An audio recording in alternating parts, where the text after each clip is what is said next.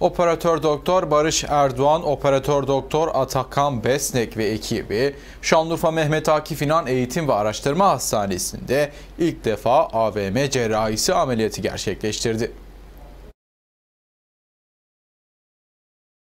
48 yaşındaki Ahmet Akyüz isimli hasta, geçtiğimiz günlerde bilinç kaybı nedeniyle Mehmet Akif İnan Eğitim ve Araştırma Hastanesi acil servisine kaldırıldı. olmuştu.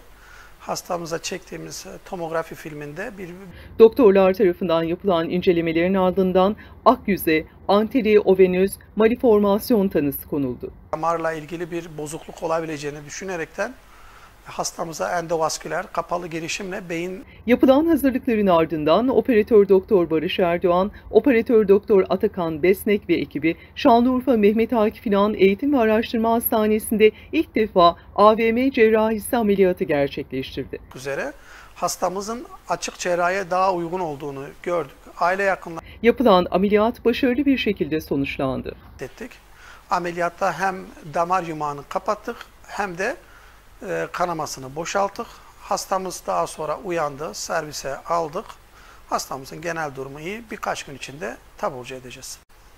Merhaba, e, Doktor Barış Erdoğan, Mehmet Akif İnan Eğitim Araştırma Hastanesi'nde beyin ve sinir cerrahisi uzmanı olarak çalışmaktayım. Hastamız Ahmet Akyüz bilinç kaybıyla bize başvurmuştu. Hastamıza çektiğimiz e, tomografi filminde bir büyük bir beyin kanaması olduğunu gördük. Ee, bu yaşlarda, genç yaşlarda görmediğimiz bir kanama olduğu için bu bir damarla ilgili bir bozukluk olabileceğini düşünerekten hastamıza endovasküler kapalı girişimle beyin anjiyosu yaptık. Orada arteriovenöz malformasyon dediğimiz damar yumağını saptadık.